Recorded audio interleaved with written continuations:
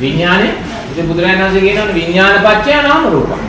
විඥානය මැරෙනවා. විඥානේ මැරෙන්නේ නැහැ. විඥානේ මරුණාම කොහොමද? විඥානේ මැරෙන්නේ නැහැ. විඥානේ නිරෝධ වෙනවා, නිරුද්ධ වෙනවා. දැන් ගිනි ගොඩක් තියෙනවා.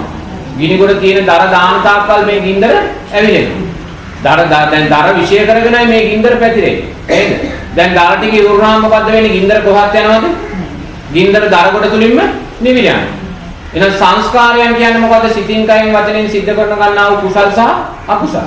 ඒ කුසල් සහ අකුසල් තියෙන තාක් කල් අපි ඊට අදාළව විඥානේ සකස් කරගන්නවා. තේරුණාද? ඉතින් මේ විඥානේ සකස් කරගෙන බුදුරජාණන් වහන්සේ දේශනා කරනවා ඇති වෙමින් නැති වෙමින් භවෙන් භවයට ගමන් කරනවා. තේරුණාද? දැන් මේ ජීවිතේ බුදුරජාණන් වහන්සේ කියන හැම සත්වයක්ම හැම නිමේෂයකදීම මැරෙමින් ඉපදෙනවා. මැරෙමින් ඉපදෙනවා කියනවා. දැන් ඔබලා දන්නේ ඔබලා මැරෙමින් ඉපදෙනවා කියලා දන්නේ නැහැ. අපි මැරෙනවා කියලා දන්නේ කවදා හරි දවසක අවසානයේ විඥානයත් ආයුෂයත් උණුසුමත් පහව ගිය මරණේ විතරයි. නමුත් බුදුරජාණන් වහන්සේම කියන්නේ බුදුරජාණන් වහන්සේ කියන ඔබ හැම වෙලාවෙම මැරෙමින් ඉපදෙනවා. ඒ මැරෙමින් ඉපදෙනවා කියන්නේ මොකද්ද? මේ ඇහෙන් රූපයක් දකිද්දී ඇස ඉපදෙනවා. ඇස ඉපදෙනවා කියන්නේ චක්කු විඥානේ සකස් වෙනවා. තේරෙනවද? ඇහෙන් රූපයක් දැක්කාම අපි ඊළඟට මොකද්ද කරන්නේ? රූපය ගැන හිතනවා. ඇහැ මැරිලා මන ඉපදෙනවා. දැන් මන මනෝ විඥානේ සකස් වෙනවා. මනෝ විඥානේ රූපය ගැන හිතනකොට ශබ්දයක් ඇහෙනවා. මන මැරිලා කන සෝත විඥානේ ඉපදෙනවා. සෝත විඥානේ ඉපදුනාම සද්දය ගැන හිතනවා. කන මැරිලා ආයිමත් මන ඉපදෙනවා. තේරුණාද? දැන් චක්කු විඥානයේද සෝත විඥානය කියන්නේ? චක්කු විඥානයේද සෝත විඥානය කියන්නේ? ඇහැ මැරිලයි කන ඉපදුනේ. සෝත විඥානයේද මනෝ විඥානය කියන්නේ? කන මැරිලයි මන ඉපදුනේ. තේරුණාද? එතකොට බුදුරජාණන් වහන්සේ දේශනා කරනවා නිරතුරුවම හැම වෙලාවම අපි මැරෙමින් ඉපදෙනවා මැරෙමින් ඉපදෙනවා කියලා. ඒ මොකද්ද කියන්නේ? ඇස තුල විඥානය බැසගත් වෙලාවේ ඇස ඉපදෙනවා. ඇස මැරිලා විඥානය මනසට ආපුවාම මනෝ විඥානය සකස් වෙනවා මනස ඉපදෙනවා. ඇහැ මැරිලායි මන ඉපදුනේ. ඊට පස්සේ ශබ්දයක් ඇහෙනකොට විඥානයේ සෝත විඥානයේ හැටියට මෙතන ස්ථානගත වෙනවා. කන ඉපදෙනවා මන මැරිලා. තේරෙනවද? දැන් චක්කු විඥානයේද සෝත විඥානය? සෝත විඥානයේද මනෝ විඥානය? මනෝ විඥානයේද කාය විඥානය? නැහැ. ඇස මැරෙමින් කන ඉපදෙනවා. කන මැරිලායි මන ඉපදෙන්නේ. මන මැරිලායි දිව ඉපදෙන්නේ. දිව මැරිලායි නාසය ඉපදෙන්නේ. එහෙමනම් නිරතුරුවම මේ ඕනෑම සත්වයේ හැම නිමේෂයකදීම මේ ආයතන හයෙන් එක ආයතනයක් ඉපදිලා තියෙනවා. තේරෙනවද? මේ ආයතන හයෙන් එක ආයතනයක් ඉපදිලා තියෙනවා. ඒක ඒසා වේගවත් කවදා හරි ප්‍රඥාවෙන් තමයි මේ වේගය දකින්නේ. මේ ආයතන හයෙන් එක ආයතනයක් ඉපදිලා තියෙන්නේ. ඒ ඉපදිලා තියෙන ආයතනය තුල විඥානය බැසගෙන තියෙනවා. දැන් ඒතකොට එකම විඥානයක්ද? නැහැ. ඇහැ මැරිලායි කන ඉපදුනේ.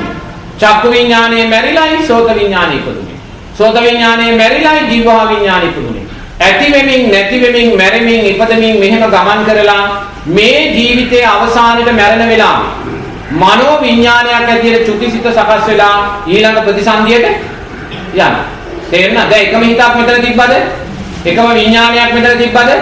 නැහැ. මෙතනින් මැරෙන වෙලාවේ මනෝ විඥානය සකස් වෙලා ඊළඟ මෞකුසට හරි බුදුන් කියනවා. ඊළඟ මෞකුසට බහිනවා. තේරුණාද? දැන් මෞකුසට බහිනවා කියන්නේ මොකද්ද? දැන් මෙතනින් දැන් අපි කියනවා මැරෙනවා. මරණ වෙලාවේ අපිට මනුස්ස චිත්තයක් සකස් වෙන උපාදානයක් කුසල් හිතක්. කුසල් හිතක් සකස් වුණාම අපි ගිහිල්ලා ඊළඟ මව් අම්මාගේ මව් කුසේ කලල රූපයක් ඒ වෙලාවේ තියෙනවා කියනවා. ගර්භාෂේ පුංචි කලල රූපයක් ජීව විද්‍යාත්මක දෙයක් විතරයි. ඒ කලල රූපෙට තමයි විඥානය ගිහිල්ලා බැසගන්නේ. මේ චුති චිත්තය ප්‍රතිසන්දි චිත්තය හැටියට බැසගන්නේ. දැන් බැසගෙන අම්මාගේ පැලෝපියේ නාලයේ තියෙන මේ පුංචි කලල රූපය විඥානය බැසගත්තාම උන ගැහෙන්න පටන් ගන්නවා. එයි කර්ම ශක්තිය විඥානය බැස්සා. අපේ පපුව ගැහෙන්නේ යම්සේද දැන් මෙච්චරලා නිකන් පාවි පාවි තිබ්බ මේ මස් කෑල්ල කල්ල රූපේ දැන් ගැහෙන්න පටන් ගන්නවා. ගැහෙනවා කියන්නේ මොකද්ද? කාය සංස්කාර සකස් වෙනවා. ඒ කියන්නේ නාම රූපයන් සකස් වුණා. ඉතින් නාම රූප පත්‍ය සලආයතන. නාම රූප සකස් වුණ නිසා ඊළඟට ආයතන හය සකස් වෙනවා. ආයතන හය කියන්නේ මොකද්ද? ඇස කන නාසය දිව ශරීරය මන. එතකොට බුදුරජාණන් වහන්සේ කියන මේ ගැහි ගැහි තියෙන පුංචි කලල රූපය සති 7ක් 8ක් යනකොට තම්බපු බිත්තරයක් ප්‍රමාණයට ලොකු වෙනවා කියලා. ලොකු වෙලා මේ හිස වෙන් වෙලා අතපය වෙන් වෙලා ආයතන හය සකස් වෙනවා කියලා. දැන් ආයතන හය සකස් වුනේ කුමක් නිසාද? නාම රූප පත්‍ය සලායතන. නාම රූප නිරෝධා සලායතන නිරෝධ. නාම රූප තිබ්බ නිසායි සලආයතන සකස් වුනේ. සලආයතන නිසා පස්සේ සිද්ධ වෙන්නේ. දැන් මේ ජීවිතේ ඊළඟ ජීවිතය ඉපදිලා එහෙන් රූප දකින්නවා පස්සේ. කනින් ශබ්ද අහනවා. පස්ස පච්චයා වේදනා. පස්සේ නිසා විඳීම ඇලින් ගැටි උපේක්ෂාව මේව ජාති ජරා ව්‍යාධි මරණ දක්වා යන. එහෙනම් කොතනකවත් එකම විඥානයක් තිබ්බද? නෑ එකම විඥානයක් කොතනකවත් නැහැ.